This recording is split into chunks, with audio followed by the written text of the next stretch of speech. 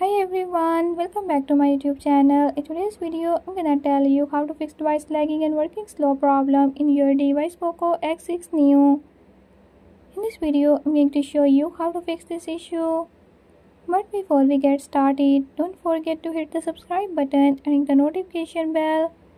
Make sure to watch complete video and learn how you can do it. Let's watch the video.